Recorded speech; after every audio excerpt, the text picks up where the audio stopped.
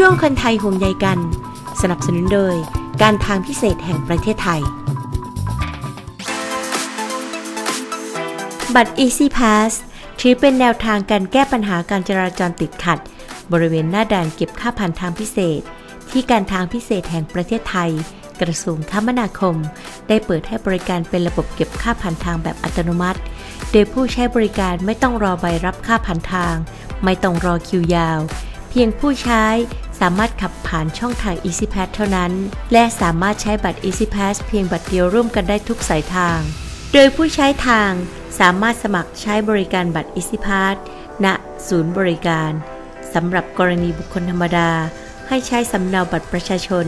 และใบคำขอใช้บริการซื้อบัตร และเปิดบัญชีบัตร Easy Pass เพื่อเติมเงินสำรองค่าผ่านทางล่วงหน้า